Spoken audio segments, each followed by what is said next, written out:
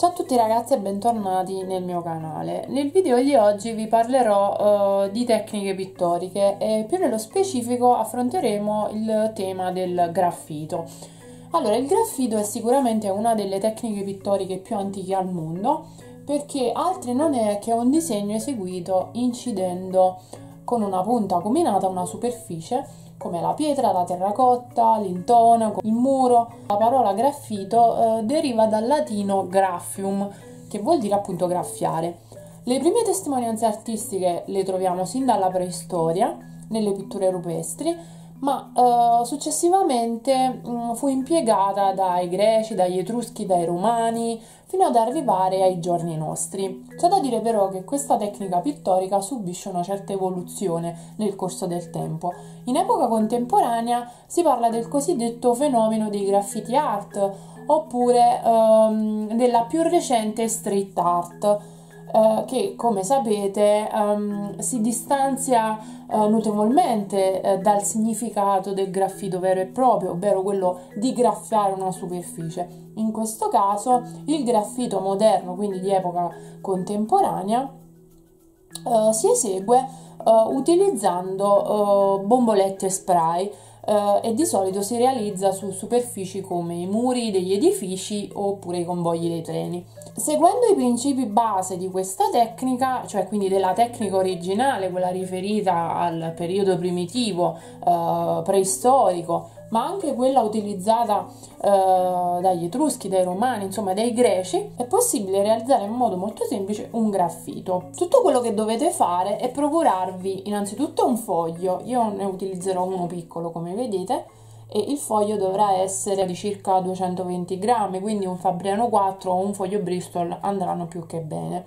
Poi vi serviranno dei uh, colori a cera, vanno benissimo quelli che utilizzano i bambini, uno stecchino oppure un chiodo, insomma qualcosa che abbia una punta per graffiare e poi uh, del colore acrilico nero, ma va bene anche la tempera se non ce l'avete, va bene anche la china. Allora, la prima cosa da fare sarà quella di stendere il colore su tutta la superficie del foglio e come colore io intendo i colori a cera, quindi voi potete scegliere di utilizzare un solo colore, il colore che preferite, oppure utilizzarne più di uno, oppure tutti, a vostro piacere. Dopodiché il secondo passaggio sarà quello di ricoprire di nero tutta la superficie del foglio che abbiamo precedentemente colorato con i pastelli a cera.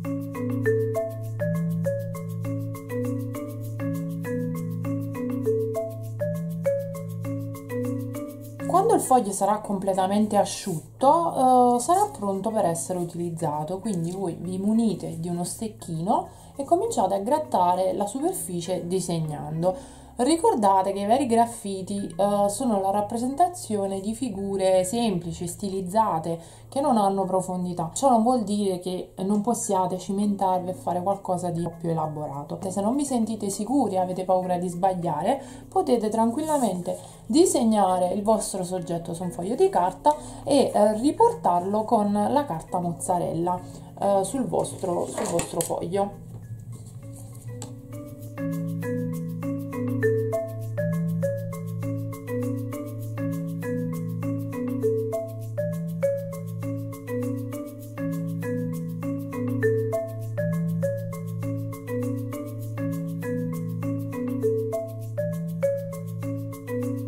Quindi prendo il mio stecchino e comincio a grattare la superficie del foglio, vedrete come salteranno fuori poi tutti i colori che abbiamo steso in precedenza.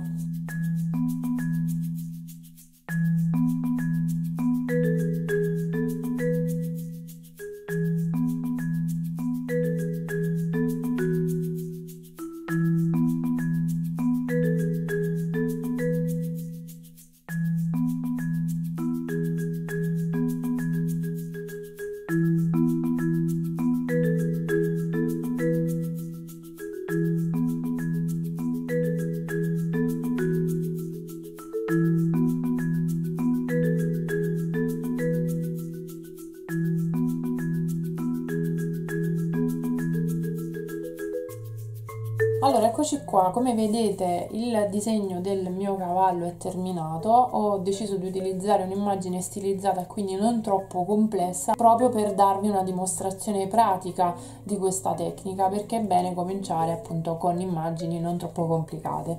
Vi mostro anche quello che ho realizzato precedentemente, questa volta eh, il soggetto era a tema floreale. Solitamente questa tecnica viene eh, insegnata ai ragazzini di scuola media, però trovo che eh, sia utile anche per coloro che sanno disegnare, anche dai professionisti, perché no? Eh, si possono veramente fare delle cose fantastiche, basta avere un po' di fantasia. Quindi eh, aspetto i vostri commenti, scrivetemi um, se vi è piaciuta questa tecnica, se l'avete mai sentita, se l'avete mai provata, oppure in che modo e per cosa l'avete utilizzata. Non mi resta a questo punto che salutarvi e darvi appuntamento al prossimo video. Ciao e a presto!